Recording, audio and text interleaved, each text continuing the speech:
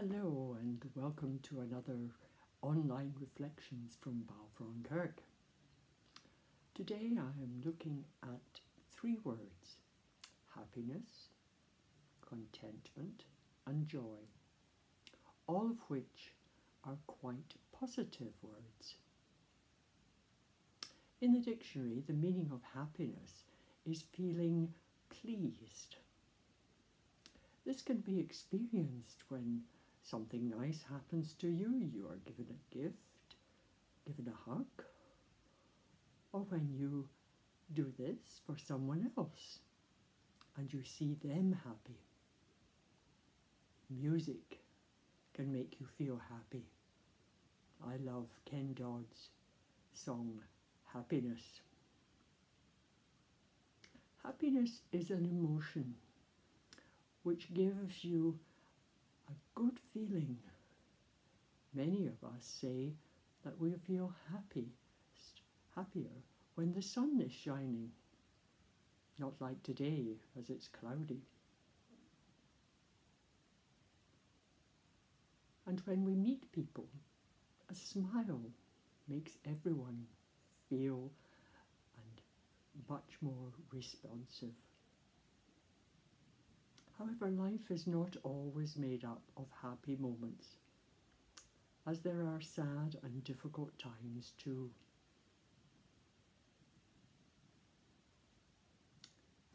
However, the word contentment is defined as accepting one's situation in life with equanimity and satisfaction. Our lives are not all the same, some are rich, others poor. Some are healthy, others ill.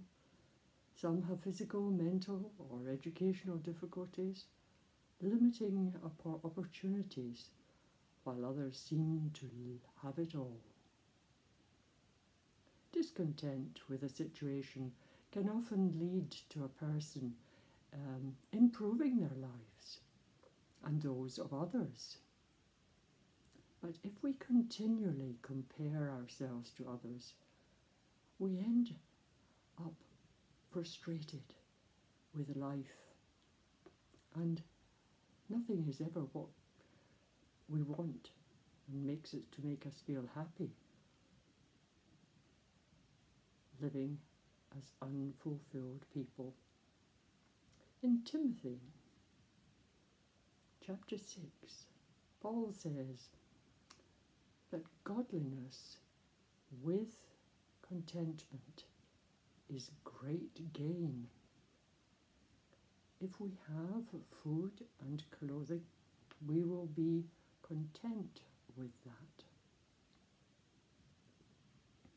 A third word, joy, is defined as a quality founded upon, upon and derived from God.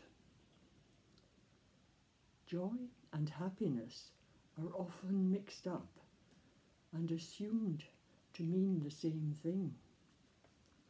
As I said, happiness is a short moment in time when life feels good, whereas joy is something within us.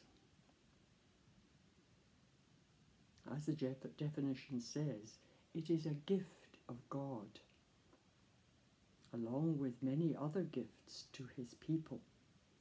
Joy is not a fleeting emotion, it is part of our being.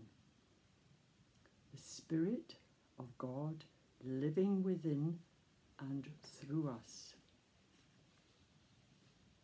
I hope that you will all have many happy times to look forward to, making life special also that you may find contentment in whatever difficulties and despite whatever difficulties and challenges you face, and that you may accept God's gift of grace, giving you a life full of joy.